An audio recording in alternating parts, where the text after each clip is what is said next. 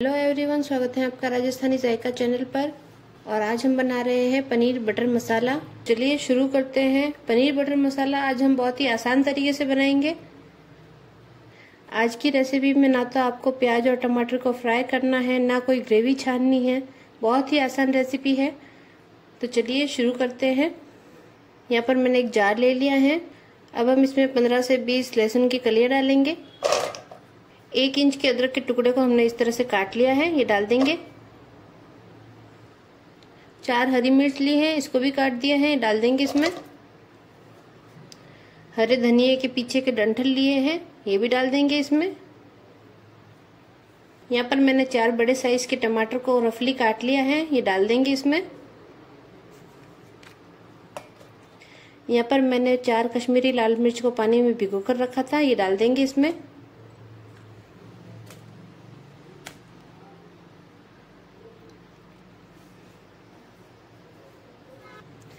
पंद्रह बीस यहाँ पर मैंने काजू लिए हैं, भीगे हुए, ये डाल देंगे इसमें। अब इन सबको ग्राइंड कर लेंगे। ये देखिए, हमने सारी चीज़ों को ग्राइंड कर लिया है। ये देखिए।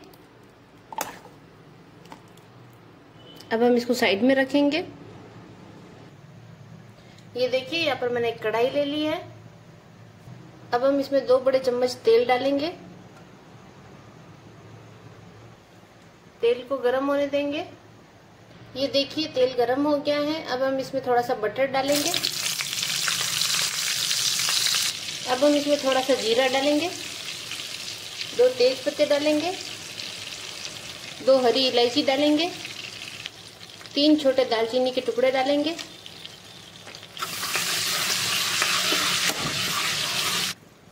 यहाँ पर मैंने तीन बड़े साइज़ के प्याज लिए हैं। इनको बारीक बारीक चॉप कर लिया है। एकदम बारीक करना है। अब हम ये डाल देंगे इसमें। प्याज का कलर लाइट ब्राउन होने तक इसको फ्राई कर लेंगे। ये देखिए, प्याज का कलर लाइट ब्राउन हो गया है। अब गैस की फ्लेम को मीडियम पे कर ले। यहाँ पर मैंने एक शिमला मिर्च ले ली है इसको क्यूब्स में काट लिया है। ये डालूँगी मैं। आपको पनीर बटर मसाला में शिमला मिर्च पसंद नहीं है तो आप स्किप कर दे। मुझे पसंद है तो मैंने डाल ली है। अब हम इसमें एक टीस्पून नमक डालेंगे।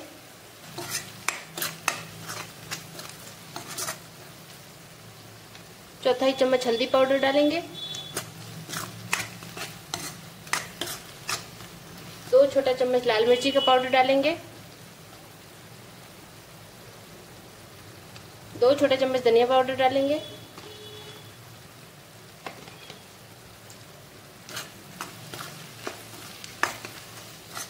अब हम इसमें आधा कप पानी डालेंगे। और सारे मसालों को अच्छे से पका लेंगे पाँच मिनट के लिए।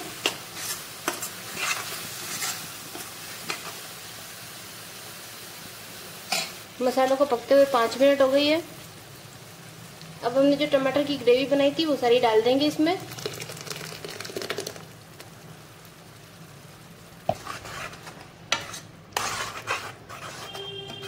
मिक्स कर ले अच्छे से।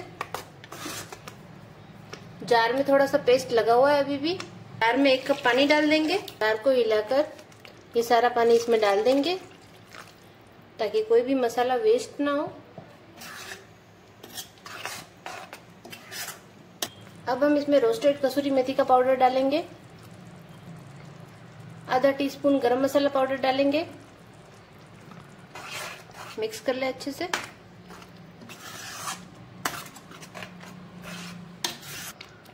अब हम इसमें एक छोटा चम्मच भर के डालेंगे चीनी। चीनी से टमाटर का खट्टापन बैलेंस हो जाएगा। अब हम इसमें एक कप पानी डालेंगे। एक बार चला ले अच्छे से। अब गैस की फ्लेम को लो कर दें और ग्रेवी को ढककर 10 मिनट के लिए लो फ्लेम पर पकाएँगे। जब तक ग्रेवी पक रही है, तब तक हम पनीर को फ्राई कर लेते हैं हल्का सा। ये देखिए, यहाँ पर मैंने 300 ग्राम पनीर ले लिया है। पनीर को इस तरह से मैंने लंबा लंबा काट लिया है। अब हम इसको फ्राई कर देंगे थोड़ा सा ये देखिए, यहाँ पर मैंने एक तवा ले लिया है। अब हम इसके ऊपर बटर डालेंगे।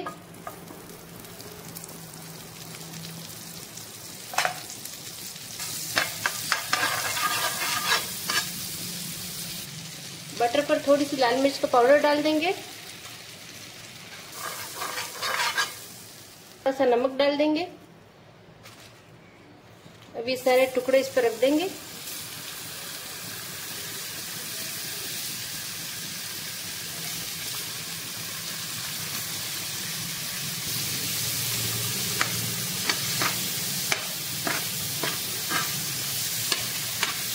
इस तरह से हम सारा पनीर फ्राई कर लेंगे। ये देखिए हमने सारा पनीर फ्राई कर लिया है। अब हम सारे पनीर को ग्रेवी में डाल देंगे। ये देखिए ग्रेवी को पकते हुए 10 मिनट हो गए हैं। अब हम इसको चेक करेंगे।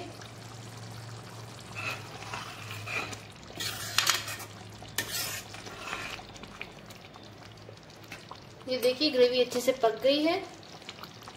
अब हमने जो पनीर फ्राई किया था, वो इसमें सारा डाल देंगे।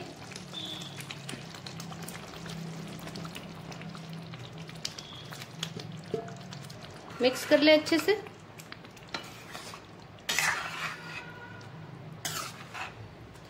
इस वक्त आप इसमें नमक चेक कर सकते हैं। कम लगे तो डाल लें। अब हम इसमें थोड़ी सी अमूल फ्रेश क्रीम डाल देंगे।